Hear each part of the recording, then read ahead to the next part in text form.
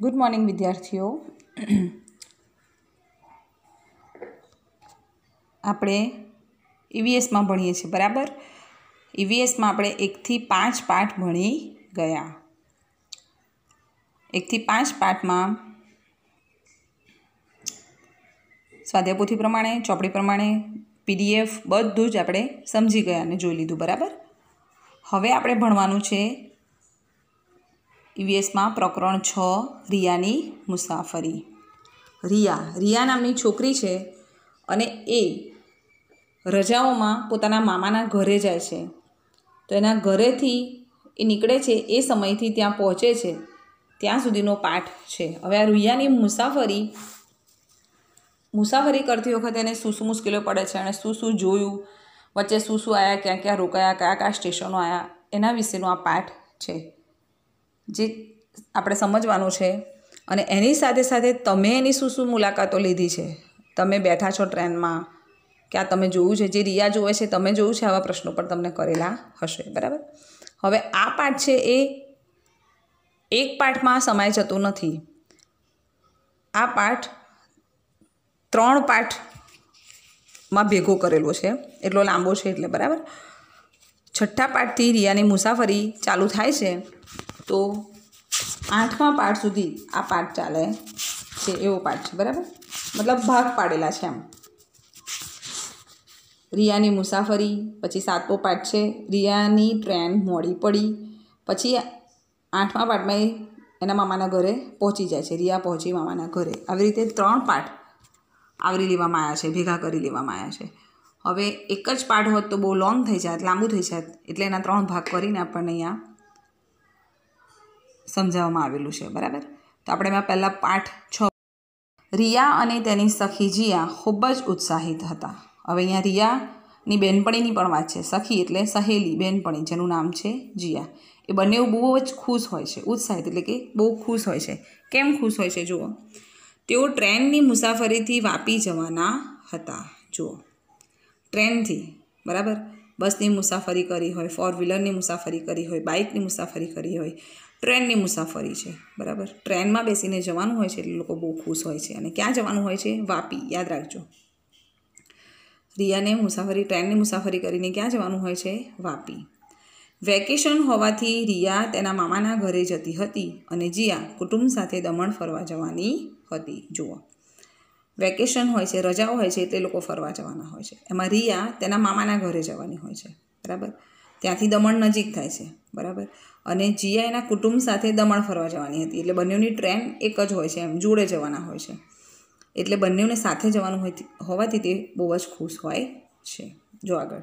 બંને કુટુંબને સાથે જવાનું નક્કી થતાં રિયાના પિતા બંને કુટુંબ માટે પંદર દિવસ પહેલાં જ રેલવેની ટિકિટનું બુકિંગ કરાવી આવ્યા હતા. જો. રિયા અને જીયા બંને બહેનપણીઓ છે, બંનેના કુટુંબને સાથે જ જવાનું હોય છે, એવું નક્કી થાય છે. પછી જો ટ્રેનમાં મુસાફરી કરવી હોય શાંતિથી, તો એનું બુકિંગ પહેલેથી કરાવવું પડે છે. ટિકિટ લેવી પડે છે મતલબ એમ. જો તમે તૈયારીમાં ટિકિટ લેવા જાઓ, તો ટિકિટ મળી જાય, પણ તમને બેસવાની જગ્યા મળે નહીં. તમે આરામથી જઈ શકો નહીં. એટલે એને પહેલેથી ટિકિટ લેવી પડે છે. એટલે કે બુકિંગ કરાવવું પડે છે. એટલે રિયાના પપ્પા પંદર દિવસ પહેલાં જ બુકિંગ કરાવી દે છે. અને રેલવેની ટિકિટનું બુકિંગ કરાવી આવ્યા હતા. બરાબર? રેલવેની ટિકિટો મતલબ લેતા આવ્યા હતા બંને કુટુંબની એમ. આગળ જુઓ. તેમની મુસાફરીના માત્ર બે જ દિવસ બાકી હતા. ત્યાં જીયા ખૂબ જ બીમાર થઈ. જુઓ. હવે બંને કુટુંબને સાથે જવાનું હતું. ટિકિટો પણ આવી જાય છે. બે જ દિવસ ખાલી બાકી હોય છે જવાના. અને જીયા બીમાર પડે છે. બરાબર? રિયા નહીં. રિયાની બેનપણી જીયા બીમાર પડે છે. ડૉક્ટરે તેને આરામ કરવા કહ્યું હતું. તેથી જીયાના કુટુંબે તેમની ટિકિટ રદ કરાવવી પડી, બરાબર? ડૉક્ટર એને મુસાફરી કરવાનું ના કહે છે. બીમાર વધારે હોય છે, તેથી એને આરામ કરવો પડશે એવું કહી દે છે. એટલે પછી જીયાના કુટુંબ શું કરે છે જીયાના પપ્પા? કે એ લોકોની ટિકિટને રદ કરાવે છે. બંને સખીઓ ખૂબ દુઃખી હતી. જો બંનેને સાથે જવાનું હતું, સાથે ફરવાનું હતું, એટલે બહુ જ ઉત્સાહિત હતી, બહુ ખુશ હતી. પરંતુ હવે જીયાના બીમાર થવાથી જીયા આવી શકતી નથી, એટલે બંને દુઃખી થઈ જાય છે. કારણ કે તેઓએ મુસાફરી વખતે શું કરશે તેના કેટલાક આયોજન કર્યા હતા. પહેલેથી ખુશ હતા એટલે આયોજન પણ કરી રાખ્યા હતા કે આપણે શું શું કરીશું. બરાબર? પણ બધું જ કેન્સલ થઈ જાય છે. જીયાના બીમાર થવાથી. એટલે બંને દુઃખી થઈ જાય છે. પણ જીયાનું જવાનું બંધ રહેતા રિયા નિરાશ થઈ હતી. બરાબર? બંને નિરાશ થયા હતા. મારી રિયા વધારે નિરાશ થઈ જાય છે. કારણ કે એકલી પડી જાય છે. જો આગળ જીયાએ કહ્યું, મને એક યુક્તિ સૂજે છે. જો, હવે જીયા બીમાર છે, એ જઈ શકતી નથી, એટલે એ વિચારે છે અને એક આઈડિયા આવે છે, મતલબ યુક્તિ સૂજે છે. તેણે રિયાને કહ્યું, તું નિરાશ ના થઈશ. તું તારી મુસાફરી વિશે બધું એક ડાયરીમાં લખજે અને મોબાઈલમાં ફોટા અને વીડિયો પણ લેજે. જુઓ જીયા બીમાર હોય છે, જઈ શકતી નથી, એટલે રિયાને કહે છે, તું નિરાશ ના થા.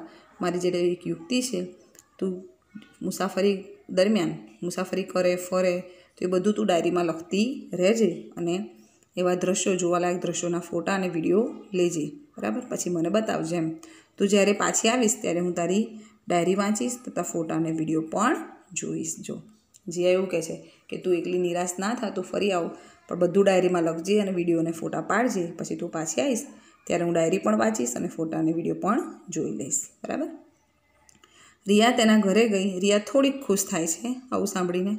પછી એના ઘરે જાય છે. અને એ સામાનમાં એક નોટબુક અને પેન શોધીને તેના થેલામાં મૂકે છે. જુઓ, તેના થેલામાં શું મૂકે છે? નોટબુક અને પેન મૂકી દે છે. જુઓ, વિચારો અને લખો. હવે આ પ્રશ્નો વિચારીને લખવાના છે, બરાબર? જુઓ, તમે કયા કયા વાહનોમાં મુસાફરી કરી છે? તો આ પ્રશ્ન તમારે જાતે વિચારીને લખવાનો છે. કેમ કે તમે બધા જ વિદ્યાર્થીઓ અલગ અલગ વાહનોમાં મુસાફરી કરી હશે. બરાબર? બસમાં કરી હોય, કારમાં કરી હોય, કોઈએ વિમાનમાં એ કરી હોય, બરાબર? એટલે જેણે જેમાં મુસાફરી કરી છે એ જવાબ જાતે લખવાનો રહેશે. હવે બીજો પ્રશ્ન છે, બીમાર અવસ્થામાં જીયાએ મુસાફરી કરી હોત તો શું મુશ્કેલી પડત? હવે જીયા બીમાર હતી અને તો પણ એ મુસાફરી કરત, તો શું તકલીફ પડત એમ તો જીયાની બીમારી શું થાત? વધી જાત. બીમાર અવસ્થામાં જીયાએ મુસાફરી કરી હોત તો જીયાની બીમારી વધી જાત અને જીયા તેમજ તેની સાથેના તમામ લોકોને, બરાબર, હેરાન પરેશાન થવું પડત, થઈ જાત એમ. બરાબર? અને ત્યાં નજીકમાં ક્યાંક દવાખાનું હોસ્પિટલમાં તેને એડમિટ કરવી પડત અને કદાચ પ્રવાસ અધૂરો છોડીને પણ આવવું પડત, બરાબર?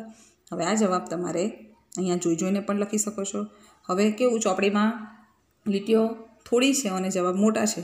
તો આપણે અડધા અડધા જવાબ લખ્યા છે, પણ હું તમને સમજાવીશ. જુઓ, પાન નંબર બેતાલીસ પર. આગળ, રિયાની ડાયરી. હવે રિયાની ડાયરી કેમ લખ્યું છે તો બધાને યાદ હશે, આપણે પહેલાં પેજ પર જોયું. કે રિયાની બેનપણી જીયા બીમાર થઈ ગઈ છે એટલે એ ફરવા જઈ શકી નહીં. તો રિયાને એણે શું કીધું છે કે તું ફરી બધું ડાયરીમાં લખજે અને ફોટા અને વીડિયો ઉતારજે, પછી હું જોઈશ. એટલે રિયા ડાયરી લઈને જોડે જાય છે, બરાબર? એટલે રિયાની ડાયરી હવે અહીંયાથી શરૂઆતથી જ એ બધું લખવાની છે. અહીંયા એક તમને ઘડિયાળનું ચિત્ર દેખાય છે, એટલે અઠ્યાવીસ મે. મે મહિનાની અઠ્યાવીસ તારીખની વાત છે એમ ત્યાંથી ડાયરી આપણે લખીએ એટલે પહેલાં આપણે શું કરવું પડે? તારીખ, વાર લખવા પડે, બરાબર? હવે ઘડિયાળનો સમય, ઘડિયાળમાં સમય છે વીસ પંચાવન. જે ચોવીસ કલાકનો જે સમય આવે છે કે બાર વાગ્યા પછી એક વાગે બપોરનું એક, ત્યારે તેર ગણાય એ સમય અંદર છે, બરાબર? વીસ એટલે રાતના કેટલા વાગ્યા છે? આઠ પંચાવન થઈ છે. જો આગળ, ચિત્રમાં તમને દેખાઈ રહ્યો હશે કે રેલવે સ્ટેશનનો ફોટો છે, બરાબર? આજે પૂનમનો દિવસ હતો, પૂનમ. હવે તમે લોકો પૂનમ ઉજવો છો, તમને ખબર જ હશે, બરાબર? કે પૂનમ. પૂનમ અને અમાસ બે વસ્તુ આવે, પંદર દિવસ અંધાર્યું પંદર દિવસ અજવાળ્યું. એમાં જે અજવાળ્યું છે, એનો પંદરમો દિવસ હોય એટલે શું છે? પૂનમ, બરાબર? અમે સાંજનું ભોજન કરીને રિક્ષામાં બેસી ગાંધીધામ રેલવે સ્ટેશને પહોંચ્યા. જુઓ. હવે રિયા બોલે છે, મતલબ જાય છે એટલે કહે છે કે સાંજનું ભોજન કરીને મેં રિક્ષામાં બેસીને લોકો ગાંધીધામ રેલવે સ્ટેશન પહોંચે છે. એટલે રિયા ક્યારે છે? ગાંધીધામ. મુસાફરી કરવા જવાનું છે એટલે ગાંધીધામમાં તો રહે છે જ, પણ ગાંધીધામના રેલવે સ્ટેશનથી અમને ટ્રેન પકડવાની હોય એટલે ત્યાં જાય છે. થોડીક વારમાં ટ્રેન પ્લેટફોર્મ પર આવીને ઊભી રહી. અમે જોયું તો ટ્રેનમાં મુસાફરો બેઠેલા હતા, બરાબર? થોડીક વાર એટલે ટાઈમ જે હશે ટ્રેનનો, એ ટાઈમે લોકો ત્યાં પહોંચે છે ને થોડી જ વારમાં રેલવે આવી જાય છે. પણ ત્યાં બધા મુસાફરો બેઠેલા હતા, બરાબર? ટ્રેન સાંજના સાત પચાસ કલાકે કચ્છ જિલ્લાના મુખ્ય મથક ભુજથી ચાલી હતી, બરાબર? હવે આ ટ્રેન છે રાત્રે ત્યાં આવે છે, પણ સાત ને પચાસ, આઠ વાગ્યામાં દસ મિનિટ બાકી હોય, એટલા વાગે એ ક્યાંથી ઉપડી હતી? કચ્છ જિલ્લાનું મુખ્ય મથક કયું છે? ભુજ. ભુજથી ઉપડી હતી, બરાબર? એમની ટ્રેનનું નામ શું હતું? કચ્છ એક્સપ્રેસ. યાદ રાખજો, આ ખાલી જગ્યામાં ખરા ખોટામાં પ્રશ્નોમાં બધામાં જ પૂછાઈ શકે છે. કચ્છ એક્સપ્રેસ. બરાબર? રિયાની ટ્રેનનું નામ શું હતું તો? કચ્છ એક્સપ્રેસ. આગળ જુઓ. જ્યારે અમે અમારા ડબ્બા પાસે ગયા, ત્યારે ખૂબ જ મૂંઝવણ હતી. એક જ દરવાજેથી મુસાફરો ઉતરતા હતા અને બીજા પોતાનો સામાન અંદર મૂકીને ચડતા હતા. બરાબર? જુઓ. એ જ્યારે જાય છે ટ્રેન જોડે અને ચડવાનું હોય છે, ત્યારે ખૂબ જ મૂંઝવણ એટલે મુશ્કેલી હતી. કેવી મુશ્કેલી હતી? કે એક જ દરવાજેથી બધા મુસાફરો ઉતરતા હતા એટલે બહુ જ બધી ભીડ હતી, એમ ગીર્દી થઈ ગઈ હતી. અને બીજા એ સામાન લઈ અંદર મૂકીને ચડતા હતા. એટલે બહુ જ ભીડ થઈ જાય છે ત્યાં ઉતરતા હોય અને ચડતા હોય, બરાબર?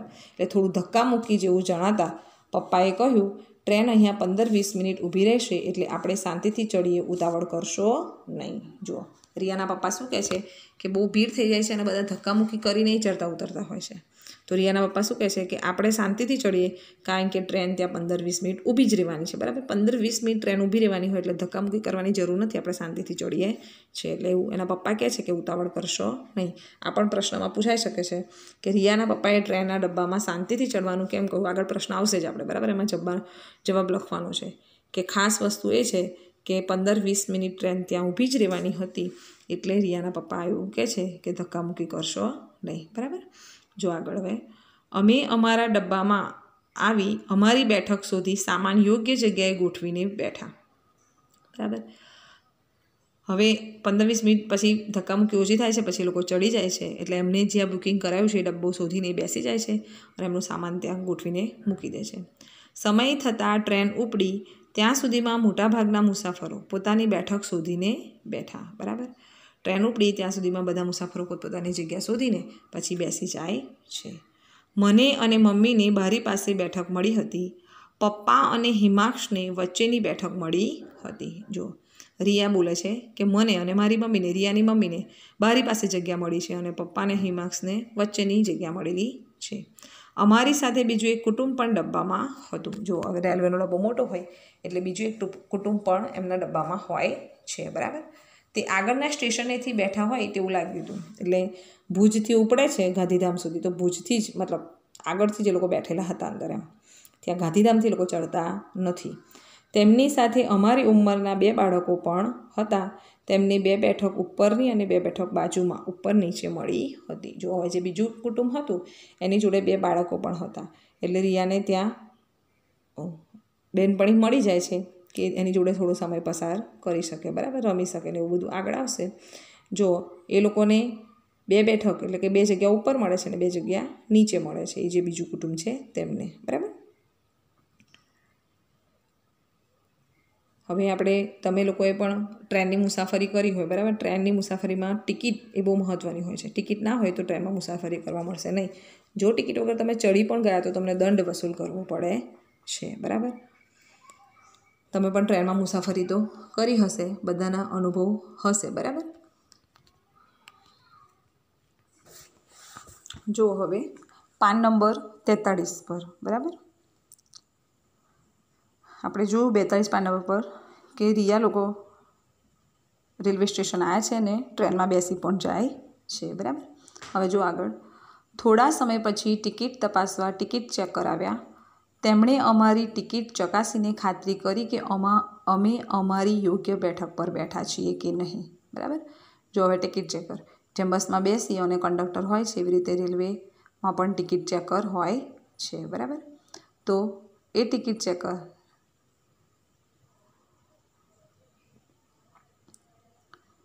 તપાસ, તપાસે છે કે બધા ટિકિટ લઈને તો બેઠા છે, પોતાની જગ્યા પર તો બેઠા છે. બરાબર? જો ટિકિટ ના હોય તો દંડ વસૂલ પણ કરે છે, બરાબર? એટલે જેમ કંડક્ટરનું કામ હોય એ રીતે રેલવેમાં કોણ હોય છે? ટિકિટ ચેકર એટલે ટિકિટ તપાસનાર એમ. તો જો આગળ પ્રશ્નો છે, જે તમારે સમજવાના છે, અહીંયા લખેલા પણ છે, જે તમારે જોઈ જોઈને ચોપડીમાં ઉતારવાના છે. અહીંયા જેટલા લીટીઓ ઓછી છે, એટલે જેટલું સમાવ્યું છે, એટલે મૂક્યું છે, પણ તમને આખો પ્રશ્ન સમજાવીશ બરાબર? જુઓ. રિયાના પપ્પાએ ટ્રેનના ડબ્બામાં શાંતિથી ચડવાનું કેમ કહ્યું હશે? હવે આ યાદ હોય જ બધાને. હમણાં જ આપણે ભણ્યા, બરાબર? પાન નંબર બેતાલીસ પર. કે બધા ધક્કામુક્કી કરતા હતા અને ટ્રેન પંદર વીસ મિનિટ ઊભી જ રહેવાની હતી, બરાબર? એટલે શાંતિથી ચડવાનું કહે છે. તો જો આપણે આખો પ્રશ્ન જવાબ જોઈ લઈએ કે ટ્રેન જ્યારે પ્લેટફોર્મ પર આવે, ત્યારે ટ્રેન ટ્રેનના ડબ્બાઓના દરવાજેથી લોકો ચડતા ઉતરતા ખૂબ જ ધક્કામુક્કી કરતા હોય છે. ટ્રેન આ સ્ટેશન પર પંદર વીસ મિનિટ ઊભી રહેવાની હતી. તેથી રિયાના પપ્પાએ ધક્કામુક્કીમાં ન ચડતા ટ્રેનના ડબ્બામાં શાંતિથી ચડવાનું કહ્યું. બરાબર? આગળ જુઓ. તમે મુસાફરી વખતે ટિકિટ તપાસનારને કેવી રીતે ઓળખશો? હવે જુઓ. ટિકિટ ચેકર જે આપણે ચિત્રમાં જોયું આગળ જોયું તો એને તમે ઓળખો કેવી રીતે એમ? તો જોઈએ આપણે. આખો પ્રશ્ન. તો દરેક ટ્રેનમાં મુસાફરોની ટિકિટ તપાસવા માટે ટિકિટ ચેકર હોય છે. જેમ આપણે બસમાં કંડક્ટર હોય એવી રીતે મેં વાત કરી એમ પહેલાં, બરાબર? તેઓ કાળા રંગનો કોટ, સફેદ પેન અને માથા ઉપર ખાસ પ્રકારની ટોપી પહેરે છે, જો આપણને ચિત્રમાં દેખાઈ રહ્યું છે એ રીતે. કાળા રંગનો કોટ, સફેદ પેન અને માથા ઉપર ખાસ પ્રકારની ટોપી પહેરે છે. ડબ્બાના દરેક મુસાફર પાસેથી ટિકિટ માગીને ચકાસે છે. ટિકિટ વગર મુસાફરી કરતા મુસાફરો પાસેથી તેઓ દંડ વસૂલે છે, બરાબર? ટિકિટ વગર મુસાફરી કરતા મુસાફરો પાસેથી તેઓ દંડ વસૂલે છે. આમ ટિકિટ તપાસનારના ગણવેશ અને તેમની ઓળખ માટે રેલવે તરફથી મળેલ બિલ્લા પરથી આપણે તેમને ઓળખી શકીએ છીએ. જુઓ. એટલે અહીંયા કીધું છે કે કાળો કોટ પહેરેલો હોય, સફેદ પેન્ટ હોય, માથા પર ખાસ પ્રકારની ટોપી હોય, તો પહેરવેશ પરથી આ રીતે ઓળખી શકાય છે. અને બીજું શું હોય? તો આપણી જોડે ટિકિટ માંગીને ચકાસે છે અને ટિકિટ વગર જે બેઠા હોય મુસાફરો, એમને પાસેથી દંડ વસૂલ કરે છે. આમ ટિકિટ તપાસનાર ગણવેશ અને તેમની ઓળખ માટે રેલવે તરફથી, બરાબર? જેમ આપણને તમે સ્કૂલમાં આઈ કાર્ડ પહેરવામાં આવે છે, એવી રીતે એમને એક બિલ્લો પણ આપવામાં આવે છે, જે રીતે ઓળખી શકાય છે, બરાબર? જો હવે આગળ ટિકિટ તપાસનાર ટિકિટમાં કઈ વિગતો તપાસીને ખાતરી કરે છે કે તે તે તમારા શિક્ષક પાસેથી જાણો છો. હવે ટિકિટ તપાસનાર ટિકિટ તપાસે છે. પણ એમાં શું શું તપાસે છે? તો જુઓ, ટિકિટ તપાસનાર એટલે કે ટિકિટ ચેકર જે હોય છે ટિકિટમાં મુસાફરો, ફરીની તારીખ, સમય, ટ્રેન નંબર, ક્યાંથી ક્યાં સુધી મુસાફરી કરવાની છે તે, સ્ટેશનના નામ વગેરે વિગતો તપાસે છે. જુઓ, સમય, ટ્રેન નંબર, આ બધું તપાસે છે. ઉપરાંત મુસાફરોની બુકિંગ કરાવેલી ટિકિટ હોય તો તેમાં વ્યક્તિની સંખ્યા, તેમની ઉંમર, બેઠક નંબર વગેરે તપાસે છે. અને પોતાની પાસે રહેલી બુકિંગની યાદીમાં તપાસીને ખાતરી કરે છે. બરાબર?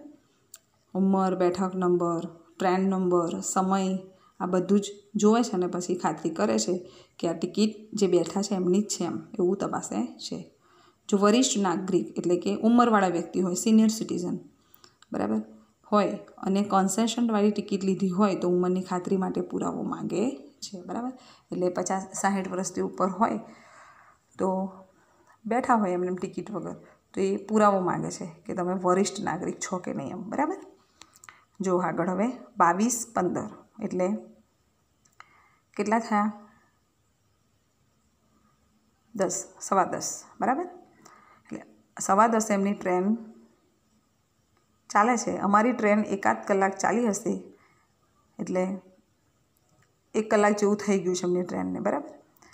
ત્યાં સ્ટેશન આવ્યું અને ટ્રેન ઊભી રહી. બરાબર? ગાંધીધામથી ઉપડે છે ને એક કલાક થયું છે અને સ્ટેશન આવે છે તો ત્યાં ઊભી રહે છે. મેં બારીમાંથી જોયું તો ત્યાં સામખ્યાણી જંકશન લખેલું હતું. જો, જ્યાં ટ્રેન ઊભી રહી છે, ત્યાં બારીમાંથી રિયા જોવે છે. એટલે શું લખેલું છે? સામખ્યાણી જંકશન. જંકશન એટલે કે રેલવે સ્ટેશન. રેલવે મથક હોય ત્યાં એમ. તો મેં પપ્પાને પૂછ્યું, આ સ્ટેશનના જો આગળ. પાન નંબર ચુમ્માલીસ પર નામની પાછળ જંકશન કેમ લખેલું છે? બરાબર.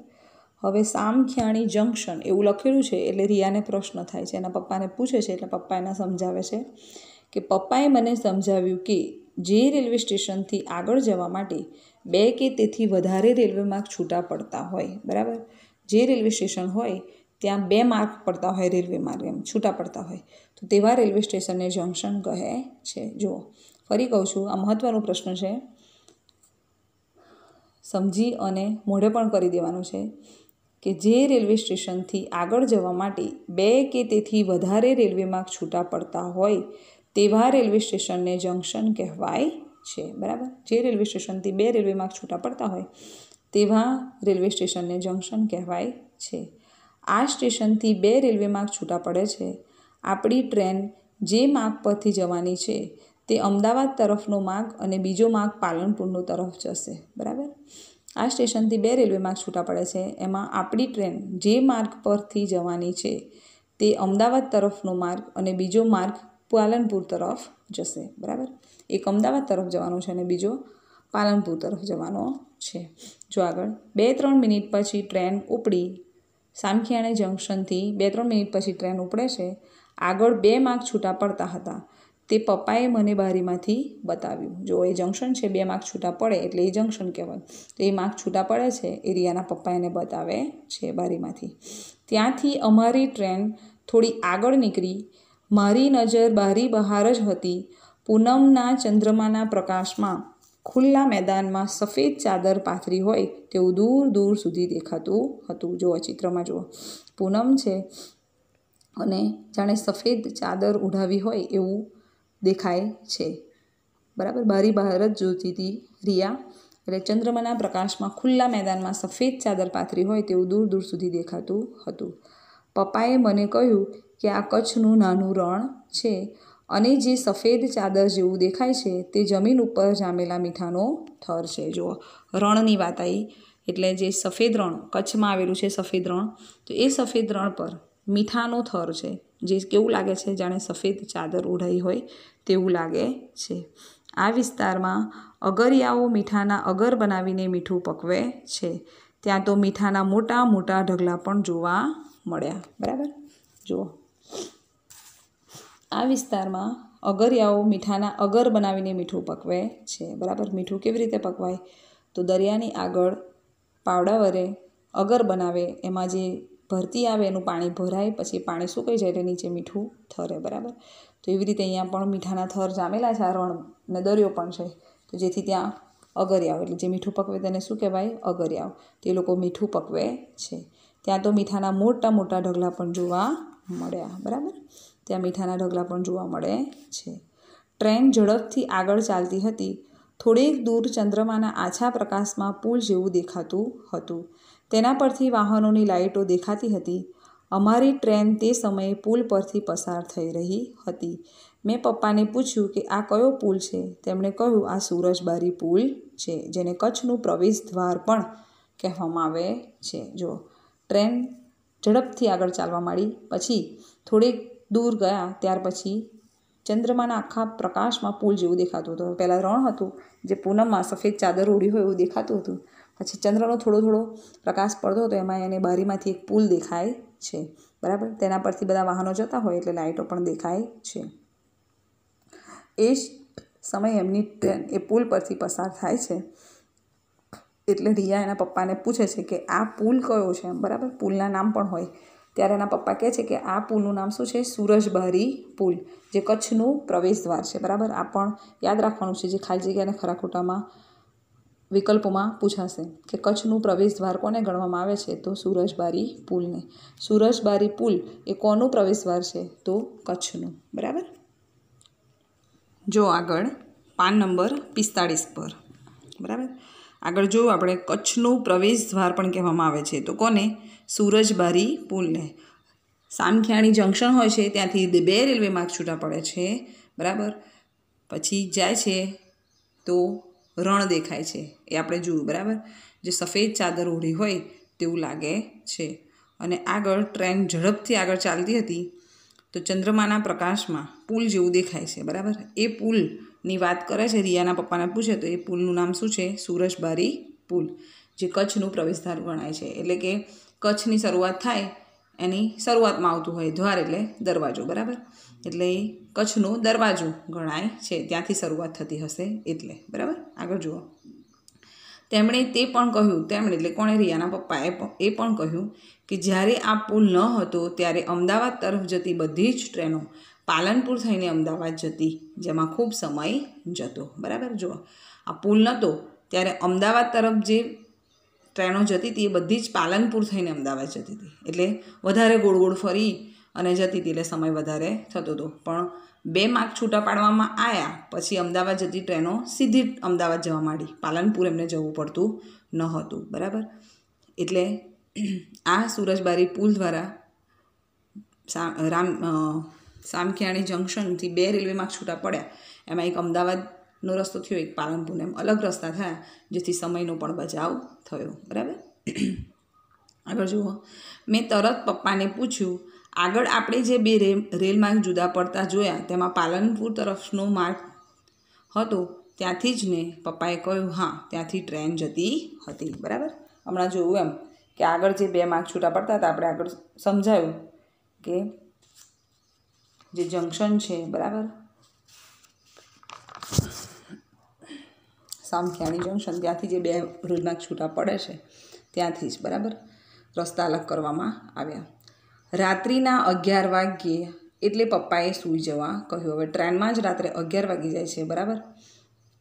તો પપ્પા એવું કહે છે કે હવે સૂઈ જાવ એમ. મમ્મીએ અમને અમારી બેઠક પર ચાદર પાથરી આપી. જ્યાં બેઠા છે ત્યાં ચાદર બિછાવી દેશે, પાથરી દેશે. એની મમ્મી ડબ્બામાં બીજા મુસાફરો પણ ઊંઘવાની તૈયારી કરતા હતા.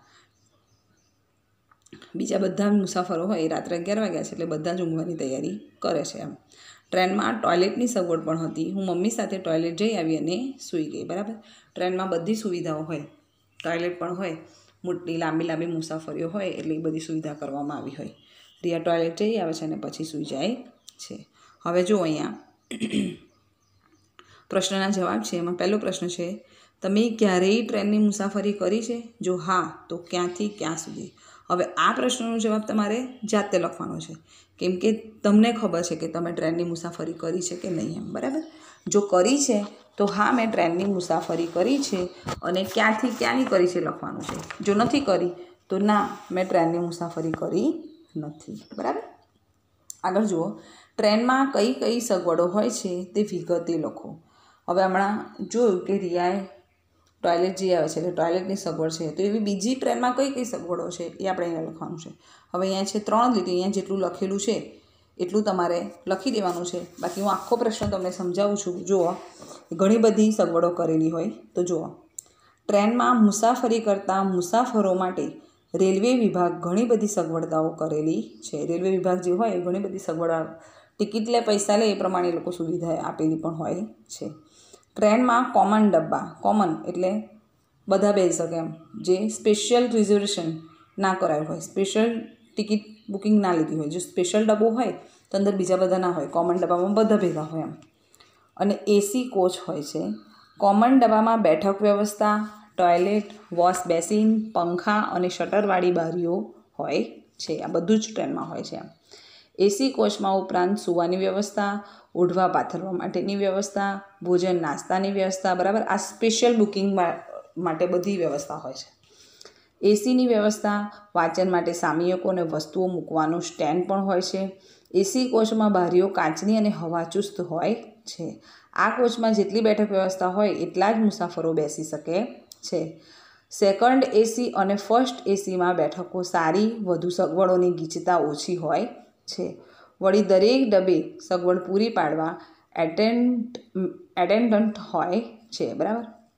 એટલે બધા ડબ્બા પર સગવડ બધાને પૂરી પડી રહે, એના માટે ધ્યાન રાખવા માટે પણ એટેન્ડન્ટ હોય છે એમ. કોમન ડબ્બામાં બેઠક ઉપરાંત ઊભા ઊભા પણ મુસાફરી થઈ શકે છે. આમ ટ્રેનમાં વિવિધ સગવડો હોય છે, બરાબર?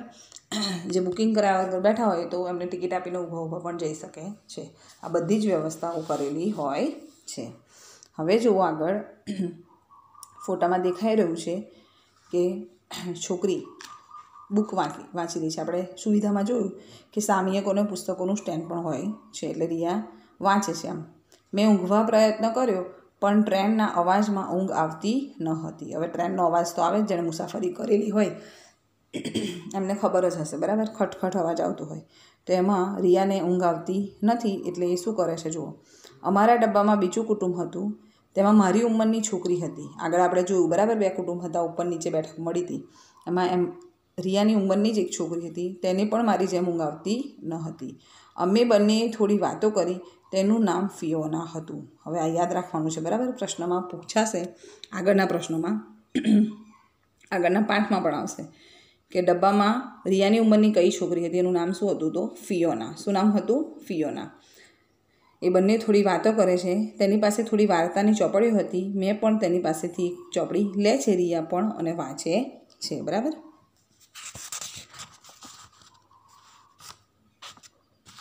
ચોપડી લઈ વાંચવાનું ચાલુ કર્યું. વાંચતા વાંચતા મને ક્યારે ઊંઘ આવી ગઈ તેની ખબર જ ના પડી. બરાબર? જુઓ. હવે ફિયોના જોડે થોડી વાર્તાની ચોપડીઓ હોય છે તો રિયા પણ લે છે અને વાંચવાનું ચાલુ કરે છે. પછી વાંચતા વાંચતા ઊંઘ આવી જાય છે. એ ખબર પડતી નથી, બરાબર? એવું તમને થતું હશે. ચોપડી લો એટલે ઊંઘ આવી જાય, બરાબર? જુઓ, આગળ, પાન નંબર છેતાળીસ પર. આગળ આપણે જોયું કે રિયાને ઊંઘ આવતી નથી, વાર્તાની ચોપડે વાંચે છે, ફિયોના અને બંને પછી ઊંઘ આવી જાય છે.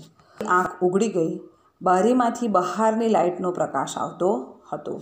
મેં બેઠા થઈને બારીમાંથી જોયું તો કોઈ મોટું શહેર આવ્યું હોય તેવું લાગતું હતું. જો હવે ઊંઘી ગયા પછી અચાનક એની રાત્રે પછી સવાર પડતા ઊંઘ આંખ ખુલી જાય છે. એ બારીમાંથી જોવે છે કેમ કે લાઇટ પડતું હોય છે, પ્રકાશ પડતો હોય છે.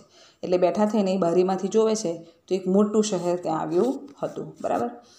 શહેર રેલવે સ્ટેશન હોય એવું શહેર મતલબ. ટ્રેન પસાર રહી પસાર થઈ રહી હતી. ચારેય બાજુ રોશનીથી શહેર સુંદર લાગતું હતું.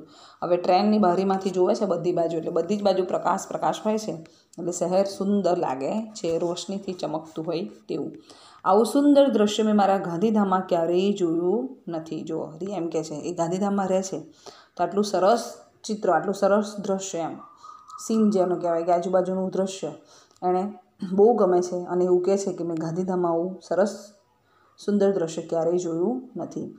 ચારેય બાજુ બહાડી મકા, બહુમાળી મકાનો અને સુમસામ વાતાવરણમાં ટ્રેન સડક માર્ગના પુલો નીચેથી તો ક્યાંક ફાટકવાળા માર્ગ વચ્ચેથી પસાર થઈ રહી હતી. જુઓ. શહેરમાં રોશની દેખાતી હતી, બહુમાળી મકાનો દેખાતા હતા અને અડધી રાત મતલબ સવાર પડતાનો સમય હતો ત્રણ ચાર વાગ્યા હોય એવું મતલબ. તો સુમસામ વાતાવરણ હતું, ટ્રેન સડક માર્ગના પુલો નીચેથી એમ. પુલો હોય એની નીચેથી પસાર થતી હોય. પછી રાત્રિના સુંદર દ્રશ્યોના ફોટા અને વીડિયો ત્યાં લે છે, બરાબર? ફાટક પરથી પણ પસાર થાય છે. ફાટક એટલે શું એ આપણે આગળ સમજીએ.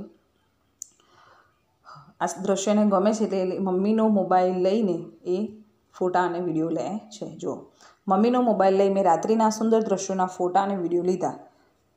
જે જોવાની ખૂબ જ મજા આવશે, બરાબર? હવે ફોટા અને વીડિયો કેમ લે છે આપણે આગળ જોયું, બરાબર? એની સહેલીને બતાવવાના છે. એટલે, બરાબર? એને ખૂબ દ્રશ્ય ગમે છે એટલે એ ફોટા પાડી લે છે. હવે જુઓ. ઘડિયાળમાં અઢી વાગ્યા છે. એનો મતલબ કે જે દ્રશ્ય શહેર એને દેખાવું હતું, એની રાત્રે આંખ ખુલી જતી હશે અઢી વાગ્યા પહેલાંની, બરાબર? સવાર પડતાનો સમય નહીં હોય. હવે આગળ જુઓ. અમારી ટ્રેન એક મોટા સ્ટેશને આવીને ઊભી રહી. પપ્પા પણ જાગી ગયા હતા. તેમણે કહ્યું કે અમદાવાદ આવી ગયું. હવે જો અઢી વાગ્યા હતા. એ જે શહેર એને દેખાતું હતું કે ખૂબ સુંદર દ્રશ્ય છે એ શું હતું? અમદાવાદ. બરાબર? એટલે અઢી વાગે એમની ટ્રેન ક્યાં આવે છે? અમદાવાદમાં. એટલે એના પપ્પા પણ ઉઠી જાય છે. ત્યાં તો વિવિધ વસ્તુઓ વેચનાર ફેરિયાઓના અવાજથી વાતાવરણ ઘોઘાટવાળું થઈ ગયું હતું. જો અમદાવાદમાં અઢી વાગે પણ વાતાવરણ એટલું બધા અવર જવર કરતા હતા, ફેરિયાઓ ફરતા હતા. બરાબર? કેમ કે મુસાફરી કરનારા લોકો વધારે હોય, તેથી અઢી વાગે પણ સવાર જેવું લાગતું હોય. ત્યાં ફેરિયાઓના અવાજ સંભળાય છે. એટલે વાતાવરણ કેવું ઘોઘાટવાળું હતું. હવે કેવા અવાજ છે? તો જુઓ, ચાય ગરમ ચાય ગરમા ગરમ ભજીયા, પૂરી શાક, ઠંડા પાણીની બોટલ, વડાપાઉં વડાપાઉં, કેળા, ચીકુ, સફરજન જેવા અવાજો સંભળાવા લાગ્યા. આ બધા ફેરિયાઓ હતા, આ બધું વેચતા હતા. એટલે બોલી બોલીને વેચતા હોય. તમે મુસાફરી ના કરી હોય તો બસમાં પણ તમને ખબર હશે. આપણે થોડી વાર બેસીએ, બસ ઉપડવાની વાર હોય, તો બસ સ્ટેશન પણ આવી રીતે બધા વેચવા આવી જાય છે. બરાબર? એ ફેરિયાઓ છે. તો આવી રીતે બધા અવાજો સંભળાય છે. ટ્રેન અહીં વીસ પચીસ મિનિટ ઊભી રહેશે. હવે અમદાવાદમાં વીસથી પચીસ મિનિટ ટ્રેન ઊભી રહેવાની હતી. એટલે પપ્પા એના ઉતરે છે નીચે. પપ્પા પાણીની બોટલ ભરવા નીચે ઉતર્યા. હું પણ તેમની સાથે નીચે ઉતરી. જુઓ. રિયા નીચે ઉતરે છે એની પપ્પા જોડે. અને એના પપ્પા પણ બોટલ ભરવા નીચે ઉતરે છે. જોડે એ પણ ઉતરે છે. બરાબર? જુઓ. આગળ જુઓ. પ્લેટફોર્મ પર ખૂબ જ ભીડ હતી. મુસાફરો ફેરિયાઓ પાસેથી ખરીદી કરતા હતા. બીજી ઘણી બધી ટ્રેનો પણ ઊભી હતી. લાલ રંગના કપડાવાળા માણસો સામાન ઉપાડીને દોડાદોડી કરતા હતા. માઇકમાં જરૂરી સૂચનાઓ આપવામાં આવી હતી. કેટલાક મુસાફરો પોતાની ટ્રેનની રાહ જોઈને બેઠા હતા. મને તો આ બધું જોવાની ખૂબ જ મજા પડી ગઈ. અમે પણ ફેરિયા પાસેથી કેળા અને ચીકુ લઈ ડબ્બામાં બેઠા. હવે જુઓ, એના પપ્પા ઉતરે છે પાણી લેવા તો જોડે રિયા પણ ઉતરે છે. એટલે આખા રેલવે સ્ટેશનમાં એની પપ્પા જોડે ફરે છે ને, બધું જુએ છે એમ. તો એને ખૂબ ગમે છે. ખૂબ ભીડ હોય છે તે જુએ છે, ફેરિયાઓને જુએ છે, બરાબર? બીજી ઘણી બીજી બધી ટ્રેનો પણ ત્યાં, રેલવે સ્ટેશન છે એટલે બીજી ટ્રેનો પણ ત્યાં ઊભી જ હોય, તો એ જુએ છે, લાલ રંગના કપડાવાળા માણસો. હવે આ લોકો કોણ છે? બરાબર? જે સામાન ઉચકતા હોય, એમનો એક જાતનો યુનિફોર્મ છે કે લાલ રંગના કપડાં પહેરે એમ, જેથી ઓળખાય છે. એટલે એ કોણ કહેવાય? કુલી, બરાબર? એના માટે ઇંગ્લિશ શબ્દ છે કુલી. અને સામાન ઉચકનાર વ્યક્તિઓ, બરાબર? એ લોકો દોડાદોડી કરતા હોય એટલે મુસાફરી આવતા હોય ચડતા હોય તો એમનો સામાન, જેથી એમને પૈસા મળે, મુસાફર એમને પૈસા આપે, સામાન લાવવા લઈ જવાનો. તો એવા લોકો દોડાદોડી કરતા હોય છે, બરાબર? પછી માઇકમાં સૂચનાઓ અપાતી હોય, જેમ બસ સ્ટેશનમાં પણ સૂચનાઓ અપાય છે કે આ બસ આટલા વાગે આવવાની છે, આ નંબરની બસ છે, આવા આટલા વાગે ઉપડવાની છે, એવી રીતે રેલવે સ્ટેશન પર પણ સૂચનાઓ આપવામાં આવે છે, બરાબર? અને કેટલાક લોકો ટ્રેનની રાહ જોઈને બેઠા પણ હોય છે, કે હવે એમની ટ્રેન આવવાની હોય, બેઠા હોય, બરાબર? આ બધું જ જોવાની રિયાને ખૂબ જ મજા પડી જાય છે. અને રિયાના પપ્પા પણ ફેરિયા પાસેથી કેળા અને ચીકુ ખરીદે છે અને પછી ડબ્બામાં બેસે છે. હવે જુઓ, અઢી વાગે ટ્રેન અમદાવાદમાં ઊભી રહી હતી. હવે થયા છે પોણા ચાર. વીસથી પચીસ મિનિટ ઊભી રહેવાની હતી. સમય થતાં ટ્રેન ઉપડી, બરાબર?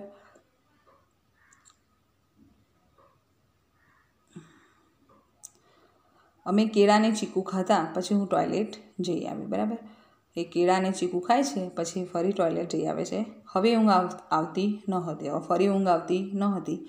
મારી પાસે સાપસીડીની રમતનું બોર્ડ અને રમવાનો પાસો હતો. જો, એ લોકો રમવા માટે, ટ્રેનમાં ટાઈમ પસાર કરવા માટે સાપસીડી લઈને જાય છે. મેં હિમાક્ષ અને ફિયોનાએ થોડો સમય સાપસીડીની રમત રમી. હવે હિમાક્ષ કોણ છે? તો રિયાનો ભાઈ, હિમાક્ષ, બરાબર? તો હિમાક્ષ ફિયોના અને રિયા ત્રણ જણ શું રમે છે? સાપસીડી રમે છે. એટલામાં નડિયાદ સ્ટેશન આવ્યું, જ્યાં ફિયોનાને ઉતરવાનું હતું. હવે જુઓ, અમદાવાદ પછી કયું સ્ટેશન આવે છે? નડિયાદ. તો ત્યાં ફિયોના ઉતરી જાય છે. બરાબર? અત્યાર સુધી ફિયોના જોડે હતા એટલું? આટલું નડિયાદ સુધી જોડે હોય છે? નડિયાદ ઉતરવાનું એનું સ્ટેશન આવે છે એટલે ફિયોના ત્યાં ઉતરી જાય છે. ફિયોના અમને આવજો કહી ઉતરી ગઈ, પછી હું અને હિમાક્ષ સૂઈ ગયા, બરાબર? ત્યાર પછી એ ઊંઘી જાય છે. હવે જુઓ પ્રશ્ન જવાબ છે, તમે ક્યારેય રાત્રિના સમયે રેલમાર્ગ કે સડક માર્ગે મુસાફરી કરી છે? તમે તે વખતે રસ્તામાં શું શું જોયું હતું તે વિગતે લખો. હવે આ પ્રશ્ન તમને પૂછવામાં આવ્યો છે અને તમારે જાતે જવાબ લખવાનો છે કે રાતનો સમય હોય, બરાબર? એવું નહીં કે ટ્રેનમાં, બસમાં પણ તમે જો કે કારમાં ફોર વ્હીલરમાં પણ મુસાફરી કરી હોય રાત્રિના સમયે, તો એ તમારે અહીંયા લખવાનું છે. બરાબર? અને એ રાત્રે તમે રસ્તામાં શું શું જોયું હતું તે અહીંયા તમારે લખવાનું છે. તમારો અનુભવ લખવાનો છે. બીજો પ્રશ્ન છે, રિયાએ ચાલુ ટ્રેને અમદાવાદમાં શું શું જોયું? જુઓ. હવે આ જવાબ આપણે અહીંયા મેં લખ્યો છે. તમને આખો જવાબ સમજાવી દઉં છું. અહીંયા જેટલો આવ્યો છે એટલો લખ્યો છે. જુઓ. રિયાએ ચાલુ ટ્રેને ચારે બાજુ રોશનીથી સુંદર લાગતું અમદાવાદ શહેર. શરૂઆતમાં રિયા શું કહે છે કે, મારી આંખ ખુલી ગઈ બહુમાળી મકાનો, આખું બારીમાંથી મેં જોયું તો ચારે તરફ રોશની, બહુ સુંદર દ્રશ્ય એને ગમી જાય છે. પછી આપણને નામ કહેવામાં આવ્યું છે કે, એ કયું શહેર હતું? અમદાવાદ. બરાબર? એટલે ચારેય બાજુથી રોશનીથી સુંદર લાગતું અમદાવાદ શહેર બહુમાળી મકાનો, વાહનોની અવરજવર, સડક માર્ગના પુલ, ફાટકવાળા માર્ગ વગેરે જોયા. ફાટક એટલે શું? તો ફાટક એ ટ્રેન આવતી હોય અને વચ્ચે ટ્રેન આવવાનો સમય હોય. બરાબર? જ્યાં રેલવે સ્ટેશન નથી અને ત્યાં પાટો છે મતલબ. તો એ પાટા પરથી કોઈ પસાર ન થાય ટ્રેન આવવાના સમયે કોઈ અકસ્માત ન થઈ જાય, એટલે એ ટ્રેન આવવાનું હોય, એના થોડા સમય પહેલાં એ ફાટક બંધ કરવામાં આવશે. એક જાતનો દરવાજો મતલબ કે બંધ કરવામાં આવે છે, જેથી ત્યાં જતી પબ્લિક લોકો હોય કે પશુઓ હોય કે નાના વાહનો હોય એ ત્યાં ઊભા રહી જાય છે, બરાબર? પછી ત્યાંથી ટ્રેન જતી રહે, પછી ફાટક ખોલી નાખવામાં આવે એટલે પછી પછી ફરી બધા લોકો અવરજવર કરી શકે, બરાબર? તમે આ જોયું હશે આવું ફાટક. ફાટકવાળા માર્ગ વગેરે જોયા. આગળ, અમદાવાદ આવતા પહેલાં ટ્રેન ચાલુ હતી ત્યારે વસ્તુઓ વેચનાર ફેરિયાઓ, માલ સામાન ઉછકનાર કુલીઓના અવાજથી વાતાવરણ ઘોઘાટવાળું થઈ ગયું હતું, બરાબર?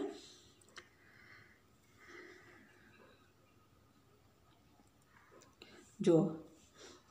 આ પ્રશ્ન હવે અહીંયા જેટલો આવ્યો છે એટલો લખ્યો છે જે તમારે હોમવર્કમાં જોઈને લખવાનો રહેશે. આ સિવાય રેલવે સ્ટેશન પર ઘણી સુવિધાઓ પણ હોય છે. એક પ્લેટફોર્મથી બીજા પ્લેટફોર્મ બરાબર? તમે એક નંબરના પ્લેટફોર્મ પર ઊભા હોય, તમારી ટ્રેન બીજા પ્લેટફોર્મ પર હોય, તો એવી વ્યવસ્થા પણ ત્યાં કરેલી હોય છે, બરાબર? પણ એ માઇકમાં જે સૂચનાઓ અપાતી હોય, એ રીતે તમારે ત્યાં સાવચેતી પણ રાખવી પડે છે. બરાબર? માઇકમાં રેલવે કેટલા આ ટ્રેન ક્યાંથી આવવાની છે, કેટલા વાગે ઉપડવાની છે, અહીંયાથી ક્યાં જવાની છે, આ બધી સૂચનાઓ આપવામાં આવે છે. બરાબર? આગળ જુઓ. છેલ્લું પાનું છે આપણા પાઠનું, એમાં ત્રણે ત્રણ વસ્તુ લખવાની જ છે. બરાબર? જો પાન નંબર અડતાલીસ પર, તમે મુસાફરી કરતી વખતે સ્ટેશન પરના ફેરિયાઓ પાસેથી ખરીદી કરી છે? જો હા, તો તેની યાદી તૈયાર કરો. અત્યાર સુધી તમે જ્યાં બી ફરવા ગયા હોય અને સ્ટેશન પર કોઈ ફેરિયાઓ પાસેથી કંઈક પણ લીધું હોય એ તમારે આ બોક્સમાં લખવાનું છે, બરાબર?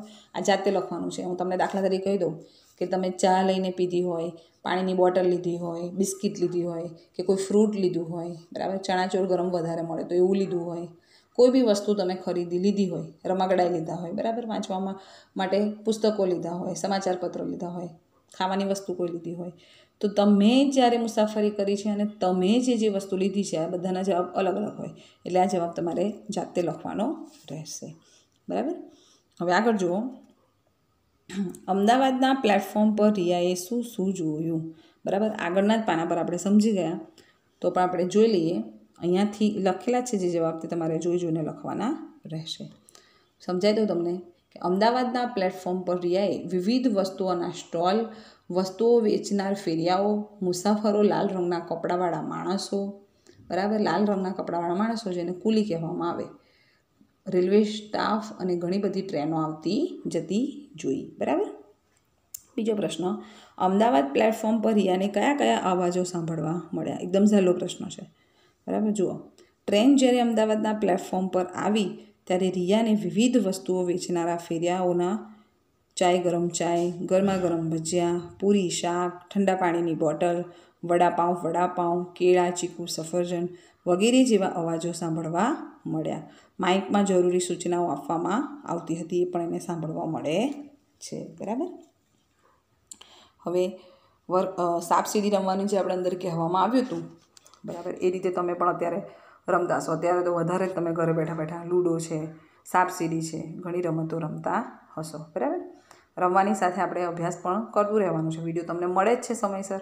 તો એને જુઓ, જેથી તમારું ટીચિંગ વસ્તુ, શિક્ષણ વસ્તુ છૂટી ન જાય અને તમે તેમાં એક્ટિવ રહો. પ્રવૃત્ત, બરાબર, ભણતા રહો તો તમને તેથી અંદર ભણવામાં રસ જાગી રહે.